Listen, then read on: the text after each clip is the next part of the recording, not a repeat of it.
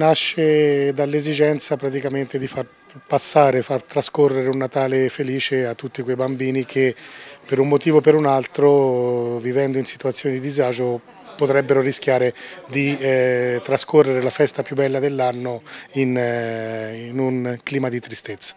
Un'iniziativa solidale per regalare un sorriso nel giorno di Natale ai bambini in difficoltà. Ad Arezzo torna anche quest'anno l'iniziativa della Croce Rossa, un sorriso in dono.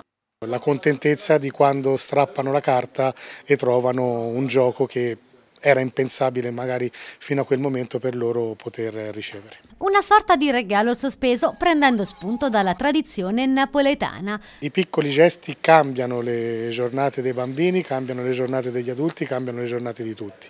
Eh, I piccoli gesti uno sopra l'altro contribuiscono a fare grandi cose. Dal 18 novembre sarà così possibile acquistare doni in collaborazione con Bobini Giocattoli.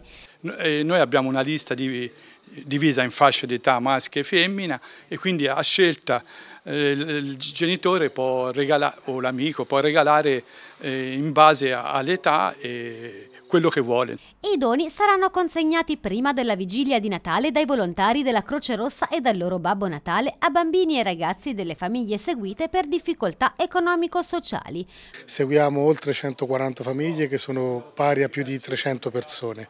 Di queste 300 persone 70 sono hanno un'età compresa tra i 0 e i 18 anni. Si aggiungono le difficoltà perché c'è sempre il confronto con il compagno di banco che magari ha quell'oggetto che il minore non può avere e quindi diventa più difficile eh, per i genitori affrontare situazioni particolari. Quest'anno poi la solidarietà aumenta, la Croce Rossa destinerà infatti parte dei regali raccolti all'associazione All Star Arezzo Ollus. Soprattutto i ragazzi che vivono nell'istituto a volte perdono anche per motivi anagrafici la rete familiare, quindi il periodo delle vacanze natalizie è un periodo non sempre diciamo così sereno perché non fanno rientri a casa, perché magari appunto non ricevono il regalo o la visita di Babbo Natale che fa sempre piacere a qualsiasi età. E quindi ecco il fatto di averci coinvolto in questa campagna speriamo dia invece quella serenità che ci vuole nel periodo delle feste natalizie.